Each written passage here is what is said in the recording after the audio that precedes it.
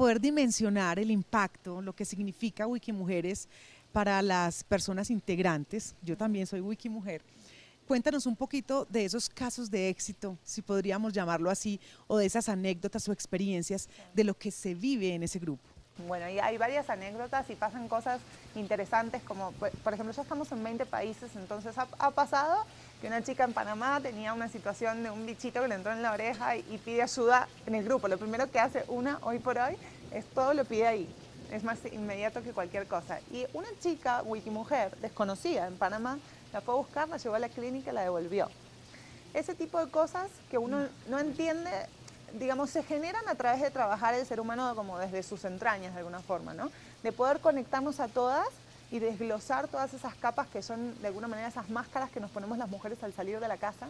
Dentro de Wikimujeres nos sacamos todas esas máscaras y como nos conectamos desde el corazón, estamos tan conectadas y tenemos un sentido de pertenencia tal que lo que le pasa a la otra es nuestro problema. O sea, tus problemas son mis problemas, tus alegrías también son mis alegrías y entonces pasan ese tipo de cosas, o también que, eh, lo que pasó la semana pasada, una de las miembros necesita un cupo en un hospital de Estados Unidos y a los dos días ya el caso llegó a manos del director, que no es así de fácil en, en las vías, digamos, normales.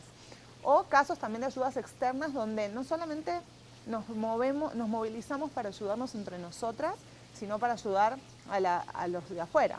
Eh, un día una wiki cuenta que su paciente de tres años tenía un tumor, necesitaba una resonancia magnética urgente y sabemos cómo son las cosas de demoradas con el tema de la salud.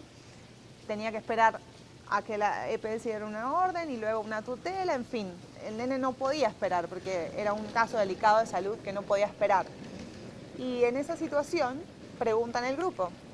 a los dos días el niño estaba teniendo la resonancia, se le consiguió el resonador y el anestesiólogo y se le hizo el tratamiento. Y yo creo que eso es lo que es, digamos, para mí son los mayores casos de éxito, más allá de los que hay que uno podría como medir en, en temas digitales.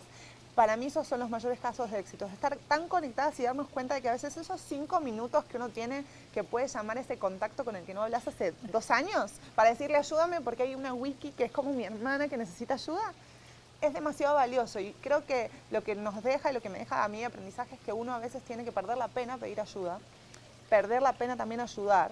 Y esa pena se ha perdido en el grupo porque hemos visto, por ejemplo, mujeres diciendo, mi marido se quedó sin empleo, busquemos esta posibilidad, este su perfil, o me pasa esta situación. Entonces ahí la psicóloga, la médica, en fin, la idea es que se ventilan de todas las situaciones, ¿no? De todo. Y uno saber que siempre va a encontrar a alguien que le va a dar esa mano y que no tiene nada de malo, al contrario, o sea, es parte de lo que conforma una comunidad, que estamos para ayudarnos y que uno a veces va por la vida pensando que es muy difícil ayudar a los demás y uno a veces no se da cuenta que un simple consejo que uno ponga o que le dé a alguien en el día a día le puede cambiar el día a una persona o la vida a una persona.